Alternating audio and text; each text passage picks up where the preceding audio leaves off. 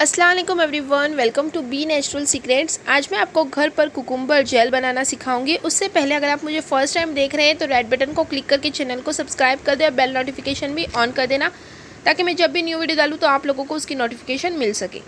इसे बनाने के लिए हमें चाहिए एक खीरा। कुकुम्बर हमें लेना है एक मीडियम साइज़ का।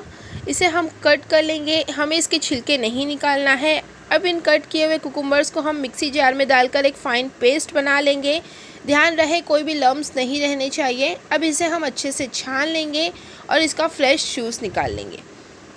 ज़्यादा जूस की हमें ज़रूरत नहीं है, इसीलिए मैं सिर्फ़ इतना ही निकाल रही हूँ। अब हमें चाहिए एलोवेरा जेल अगर आप फ्रेश एलोवेरा जेल यूज़ करते हैं तो आप वो भी ले सकते हैं, वरना आप कोई भी ब्रांड का ले लें। एक क्लीन बाउल ले लेंगे। अब मैं यहाँ पर वन स्पून जितना एलोवेरा जेल ले रही हूँ तो उसमें मैं one spoon cucumber juice add करूँगी। इसे आप सेवन डेज़ तक स्टोर करके रख सकते हैं तो आप अपने हिसाब से क्वांटिटी में बना कर रख लें।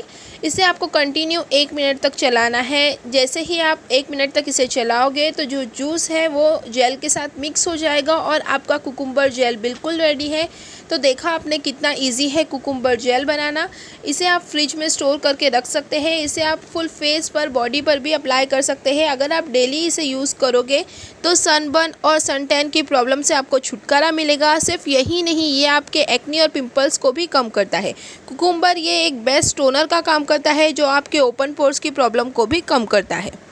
ये जेल आप स्ट्रेच मार्क्स के लिए भी यूज़ कर सकते हैं। पिगमेंटेशन डार्क स्पॉट्स को भी ये लाइट करता है और आपकी स्किन के डार्क कलर को भी ये लाइट करने में हेल्प करता है। तो जैसे ही आप इसे डेली यूज़ करोगे, आपकी स्किन का कलर भी ब्राइट होने लगेगा। आई होप आपको ये रेमेडी अच्छी लगी होगी। तो प्लीज़ इस वीडियो को लाइक करें शेयर करें। मिलते हैं नेक्स्ट वीडियो में, इंशाल्लाह। Bye guys